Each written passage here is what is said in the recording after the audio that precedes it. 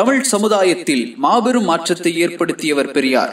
பகுத்தறிவு பகலவன் என்றும் தந்தை பெரியார் என்றும் ஈரோட்டு சிங்கம் என்றும் போற்றப்பட்டார். அவருடைய பெயரின் ஒரு பகுதியை எடுத்துக்கொண்டு தனது பெயராக வைத்துக் கொண்டவர்தான் பெரியார் தாசன். அதன் மூலம் அவர் பெரியாரின் அடிமை என்று பிரகடனம் செய்தார். பெரியாருடைய கொள்கைகளோடு தன்னை ஐக்கியப்படுத்திக் கொண்டு தனது வாழ்க்கையில் நாற்பத்தைந்து வருடங்கள் பட்டி தொட்டி எல்லாம் சுற்றித் திரிந்து பெரியாருடைய கொள்கைகளை தமிழகத்தில் பரப்பி வந்தார். எந்த பகுதியில் மக்கள் வாழ்ந்தாலும் ஒரு முறையாவது அவர் அங்கு பேசியிருப்பார். அப்படிப்பட்ட பெரியார் தாசன் சில ஆய்வுகளுக்கு பிறகு தனது பெயரை அப்துல்லா என்று ஆக்கி இஸ்லாத்தை ஏற்றுக்கொண்டார். இஸ்லாமியனாக வாழ்ந்து இஸ்லாமியனாகவே மரணித்தார். பெரியார் தாசர் அவர்கள் இஸ்லாத்தை ஏற்றபோது தொல் திருமாவளவன் அவர்கள் அவரை புகழ்ந்து வாழ்த்து சொன்ன செய்திகள்தான் இவை. இஸ்லாம் என்பது மனிதநேயத்தை உலகெங்கும் பரப்புகின்ற ஒரு மார்க்கம். அதை யாரும் மறுத்துவிட முடியாது. இறைவன் உண்டு என்கின்ற கருத்தை சொல்லுகின்ற அளவில் மட்டுமே இந்த மார்க்கம் நின்றுவிடவில்லை. இறைவனின் மீது நம்பிக்கை வை என்று வலியுறுத்துகின்ற மார்க்கமாக மட்டுமே இது நின்றுவிடவில்லை. மாறாக மனிதர்களுக்கிடையிலே சகோதரத்துவத்தை நிலைநாட்டுவதற்கு ஏற்ற வாழ்வியல் நெறிமுறைகளை கற்பிக்கின்ற ஒரு மகத்தான தத்துவம்தான் இஸ்லாம். பேராசிரியர் பெரியார்தாசன் அவர்களை நான் வாழ்த்துவதற்காக பொன்னாடை பூர்த்திய போது என்னை மார்போடு கட்டித் தழுவி மூன்று முறை ஆலிங்கனம் செய்து கொண்டார். இது இஸ்லாத்தின் மிக உயர்ந்த பண்பாடு. மனிதனை மனிதன் தீண்டுவதே பாவம் என்கின்ற ஒரு கொடூரமான கருத்தியலை கொண்டது இந்துத்துவம். தள்ளி நிற்க வேண்டும் என்ற கொடுமையை திணித்து நடைமுறைப்படுத்திக் கொண்டிருப்பது இந்துத்துவம். சகோதரத்துவத்தை முற்றிலுமாக மறுக்கின்ற கருத்தியல்தான் இந்துத்துவம். ஆனால் இஸ்லாம் அனைவரையும் கட்டித் தழுவி மார்போடு அணைத்துக் கொள்கின்ற மனிதநேயத்தை கொண்டிருக்கிறது. எத்தனை முறை பேராசிரியர் பெரியார்தாசன் அவர்களை நான் மேடைகளில் சந்தித்திருக்கிறேன். வணக்கம் தெரிவித்துக் கொள்வோம் கைகுலுக்கிக் கொள்வோம். ஆனால் இந்த முறைதான் அவர் என்னை கட்டி தழுவி கொண்டார் மார்போடு அணைத்துக் கொண்டார். எனக்கும் உடம்பெல்லாம் புல்லரித்து விட்டது மகிழ்ச்சியை தந்தது. இதுவரையில் அந்த உத்தி அவருக்கு தெரியாதா? கட்டி தழுவ வேண்டும் என்ற பாசம் இல்லாமல் இருந்தாரா என்ன? அல்லது என் மீது மதிப்பில்லாமல் இருந்தாரா? இல்லை. ஆனால் இந்த முறை அவருக்கு எவரும் கற்றுத்தராத ஒன்றை இங்கே கற்றுத்தந்தது இஸ்லாம்தான். ஆக இஸ்லாம் என்பது சகோதரத்துவத்தை ஒரு வாழ்வியல் நெறியாகவே கற்றுத்தருகிறது. பாசம் இருக்கலாம் பற்று இருக்கலாம் மதிப்பு இருக்கலாம் அதை மனதிற்குள்ளே வைத்துக் கொள்ள வேண்டும் என்று இல்லாமல் செயலிலே காட்ட வேண்டும் என்று கற்றுத்தருகின்ற ஒரே இறையியல் இஸ்லாம் தான் இந்த உலகத்தில் இதுவரை எங்கும் ஒரு போலி முஸ்லிம் மதகுரு என்று யாரும் சொன்னதில்லை. போலி சாமியார் இஸ்லாத்திலே உண்டு என்று இதுவரை எங்காவது நாம் கேள்விப்பட்டிருக்கிறோமா? இல்லவே இல்லை.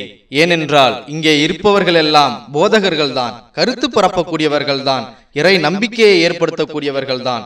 இவர் சாமியார் எனவே அவர் காலில் விழுந்து வணங்க வேண்டும் என்று இஸ்லாத்தில் எங்குமே கிடையாது. ஆனால் இந்து மதத்தில் இங்கே சங்கர மடத்திற்கு போனால் அவர் காலை தொட்டு வணங்க வேண்டியிருக்கிறது.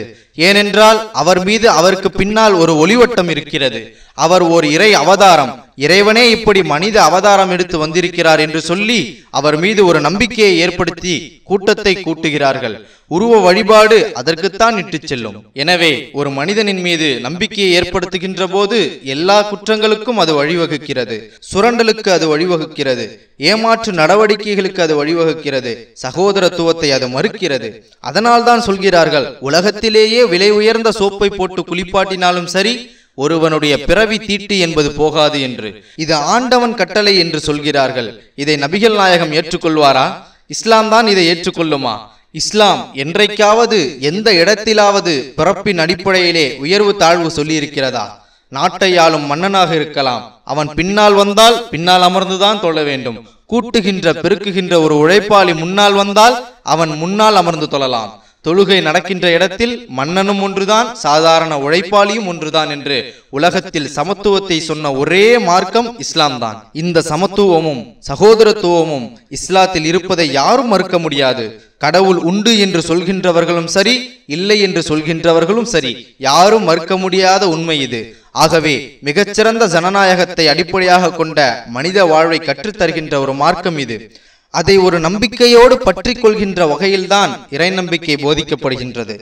அப்படி இறை நம்பிக்கை போதிக்கப்படும் போது உருவம் தரக்கூடாது. அது திசை திருப்பிவிடும். அது பாதை மாற்றிவிடும். மக்கள் வர வர தலைமுறை மாற மாற அதன் மீது உருவாக்கப்படுகின்ற பிம்பங்கள் மாறிக்கொண்டே இருக்கும். அந்த பிம்பத்தினால் மனித வாழ்க்கையே தருமாறி போகும். உலகம் உருவான காலம் முதல் இந்த காலம் வரை ஏற்றுக்கொண்ட கருத்தியலில் எந்த மாற்றமும் நிகழாமல் அப்படியே நபிகள் நாயகம் காட்டி தந்த வழிமுறையில் இயங்கிக் கொண்டிருக்கின்ற ஒரே மார்க்கம் இஸ்லாம் தான் அதற்கு காரணம் அந்த அருவ வழிபாட்டு கொள்கைதான்.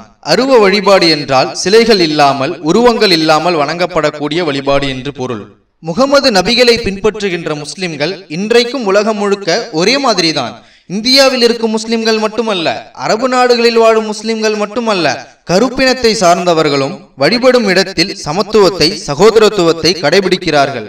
ஒரே வழிபாட்டு முறையை பின்பற்றுகிறார்கள். அது அவர்களின் வாழ்க்கையிலும் கடைபிடிக்கப்படுகிறது. இதையெல்லாம் பார்க்கும்போது இதைவிட சமத்துவத்தை நிலைநாட்டக்கூடிய ஒரு மிகச்சிறந்த மார்க்கம் இல்லவே இல்லை என்பதுதான் என்னுடைய அழுத்தமான திருத்தமான கருத்தாகும். அந்த கருத்தை உணர்ந்துதான் இன்றைக்கு பேராசிரியர் அப்துல்லா அவர்கள் ஒரு இஸ்லாமியராக பரிணாமம் அடைந்திருக்கிறார். அது ஒரு பரிணாமம். அவர் இங்கிருந்து அங்கே தழுவினார் என்று சொல்வதை விட ஒரு பரிணாமம் அது. பெரியார் ஏன் இஸ்லாத்தை விமர்சிக்கவில்லை என்றால் மதத்தின் பெயரால் கடவுளின் பெயரால் இங்கே அடிமைத்தனம் போதிக்கப்படுவதில்லை. மதத்தின் பெயரால் கடவுளின் பெயரால் இங்கே ஏமாற்று நடவடிக்கைகள் இல்லை. மதத்தின் பெயரால் கடவுளின் பெயரால் இங்கே சகோதரத்துவம் மறுக்கப்படுவதில்லை.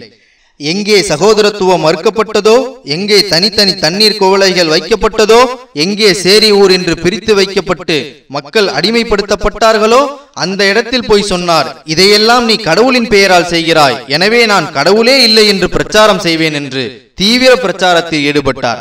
எனவே பெரியார் இஸ்லாம் மார்க்கத்திற்கு எதிரானவர் இல்லை. அந்த பெரியாரின் தாசனாக இவர் தன்னை அறிவித்துக் கொண்டார் என்றால் சமத்துவத்திற்காக போராடிய பெரியாரின் கருத்துக்களை மக்களிடம் நான் பரப்புகிறேன் என்ற அந்த பொருளில்தான் சொன்னார். அதே சமத்துவ கருத்தை தான் இஸ்லாமும் சொல்கிறது. எனவே அவர் பெரியார் தாசனாகவே இஸ்லாத்தின் கருத்துக்களை பரப்பப் போகிறார் என்றே நான் நம்புகிறேன். இஸ்லாத்தை பரப்புவதற்கு ஒரு மிகப்பெரிய ஆயுதமாக அவர் பயன்படுவார். இஸ்லாமிய கருத்தியலை அவர் பரப்புவார். அது அவருடைய கடமை.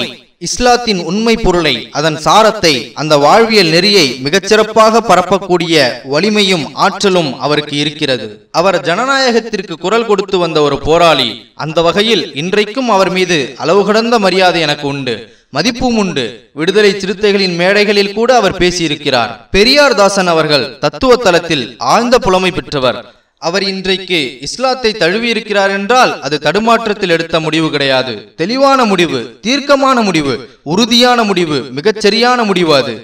அவர் இன்றைக்கு இஸ்லாத்தை தழுவி இருப்பதை நாம் நெஞ்சார வரவேற்கிறோம்.